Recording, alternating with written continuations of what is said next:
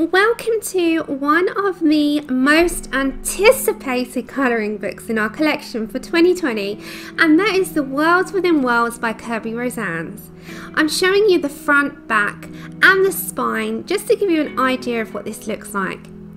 It's comparable to his other books in size, in format, and I'd say the paper quality is pretty much the same too. I'm to go and show you a little bit of my guilty pleasure right now. So I'm to just pause this part for a second and I'm to head on over to my collection and, well, judge for yourselves.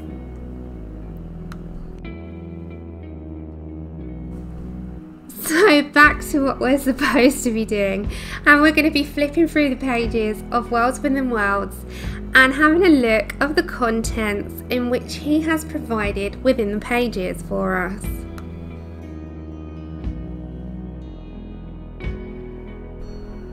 And here we go into one of the rides of our lifetimes.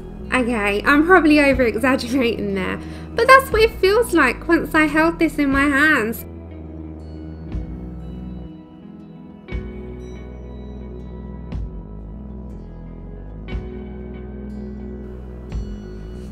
Okay, so we're used to seeing the skulls in Imagimorphia, uh, where he's got one mechanical skull and one botanical skull.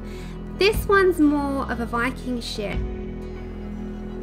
We've got this whole space vibe going on with manta rays and sharks and coral reefs up in space. Okay, this is a new take on something that is really quite exciting.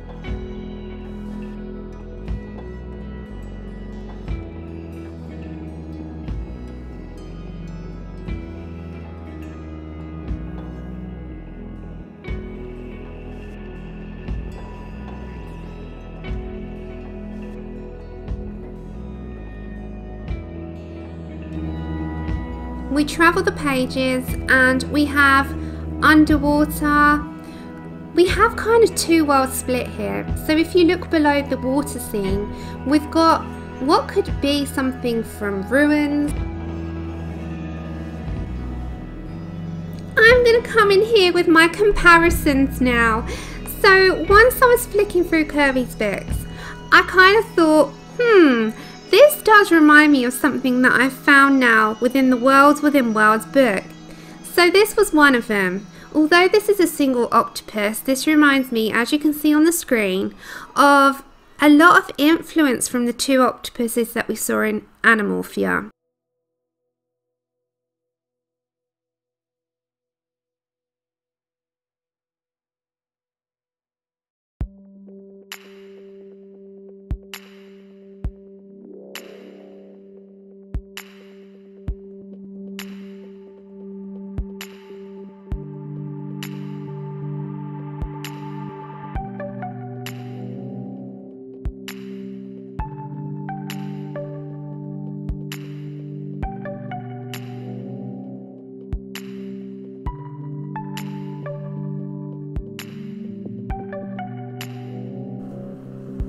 The worlds within this page are really replicant of the seven wonders of the world, whilst the monkey reminds me of something that we found in the camel in Animorphia. You'll also find that it reminds you of Petra in Jordan.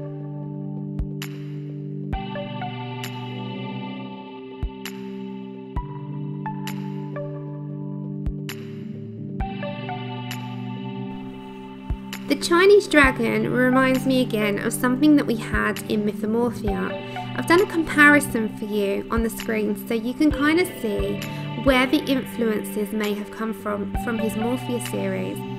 These sea creatures we have seen once before in Imagimorphia. We've just got a completely different world this time on top of its shell.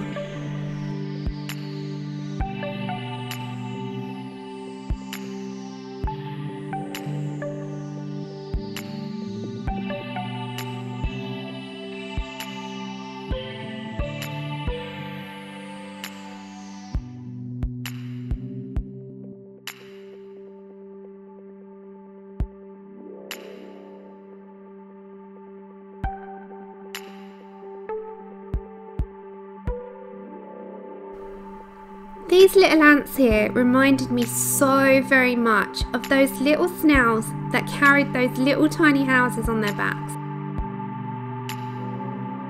So we're looking at the koi carp, we're looking at the Japanese fighting fish. Although they're two different fish, a lot of the influences are very similar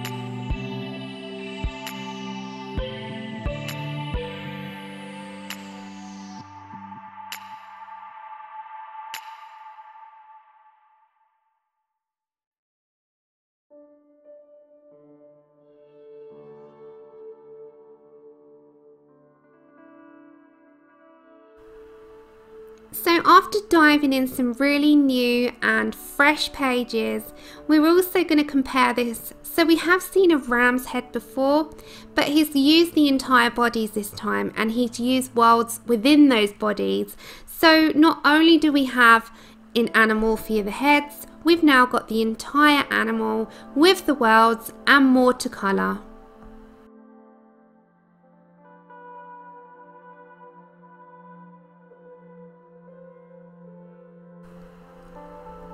Clock reminded me so much of the two that we have in Imagimorphia. I've put one on the screen so you can see the comparison as well. It's like he's taken a heavy influence from his past Morphia series and just given us a fresh take on this.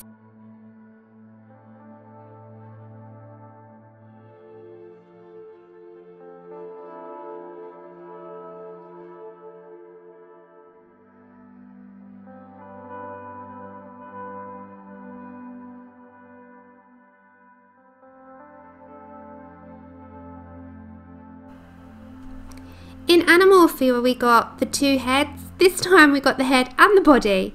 So we've got these two little flamingo guys and I'm really excited because not only do we get the flamingos, we get the world underneath them too.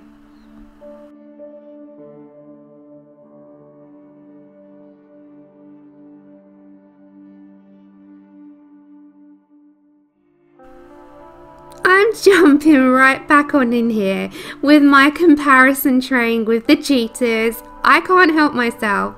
But I also think it's very good to show in a review that, you know, there is things that you might recognize. It's just that it's a different environment.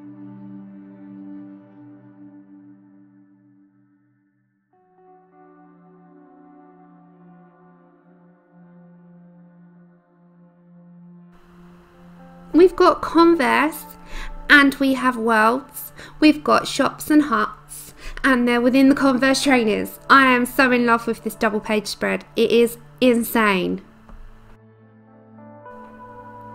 And we're at the end of the book. Now, on the last coloring page, it would be absolutely impossible to be able to word what's in this. If you just have a little look for yourself, we have dragons, we have space, we have unicorns, we've got hieroglyphics, we've got worlds. It's just practically everything this book represents on one page. And then, of course, it wouldn't be a Kerby book without all the answers pages at the back. So as well as having your colouring pages, you have hidden objects throughout and you have to find them and you can refer to the back pages to see if you had found them. And well, I don't know about you, but I don't really usually find all the hidden objects and I do cheat. So these are pretty cool to go back on. Thank you so, so much for joining me on this amazing whirlwind of a review. I was sent this by Michael O'Mara Publishers. They sent me this wonderful copy to review, so thank you so very much. Definitely go pre order today. If you haven't pre ordered, you can get this on the 6th of February in the UK. You can get this both via the publishers, Amazon, Book Depository. I will put the links in the description for you. Thank you ever so much. I've had an amazing time reviewing this. I will have an amazing time colouring this with you. I will see you on my next video. Until then everyone, take care.